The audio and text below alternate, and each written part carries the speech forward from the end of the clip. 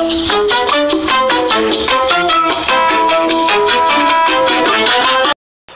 friends, I am Umesh Sathwara. Welcome to this video.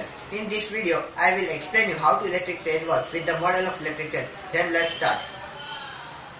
I hope you watch on everywhere two wire of electricity on electric train like this. This upper wire is called catenary wire and its second name is messenger wire. It's called in UK and Canada. There are three types of catenary wire. First simple catenary, second stitched catenary and third compound catenary. But we most prefer for use simple catenary wire. This lower wire is called contact wire because when the locomotive is connected with the contact wire, then electricity starts to transfer into locomotive. In this figure, you can see the thing between catenary wire and contact wire is called droppers. Droppers are come in different lengths depending on between the gap of two wires.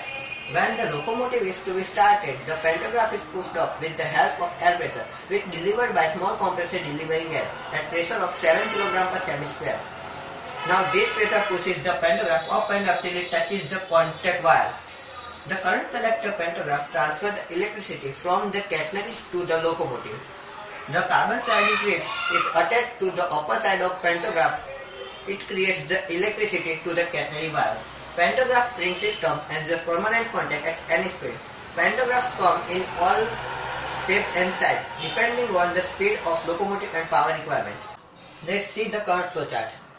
Then current is flowed in transformer and rectifier. The transformer is increase or decrease current as per requirement of power and rectifier is convert AC to DC. We are using brushless three-phase AC motor in modern electric locomotive. Perhaps your question is, locomotive is worked by AC motor, then why we are using rectifier? Its answer is, locomotive auxiliary system, lights, horn, light, fan, etc. can't work by AC current. Therefore, we are providing rectifier in locomotive for convert AC to DC. Then current is finally reached at AC motor. Their flywheel is attached to the motor. So, when we are providing electricity to the motor, flywheel start to rotate and our locomotive is working.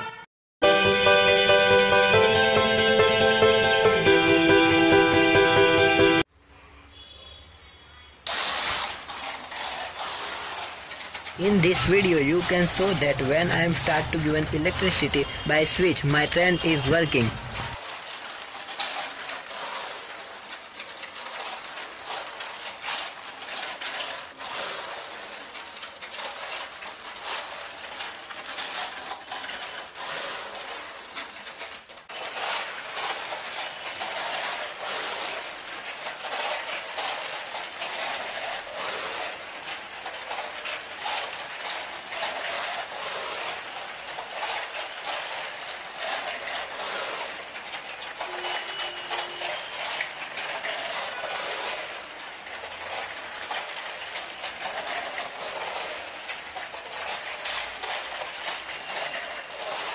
If you think that how to work this train, then I explain you. I give an electricity to the track and put two objects under side of locomotive which transmit electricity track into train. My both friends has helped me for made this model. Their name is Subham Rami and Ashish. So I am thankful of them.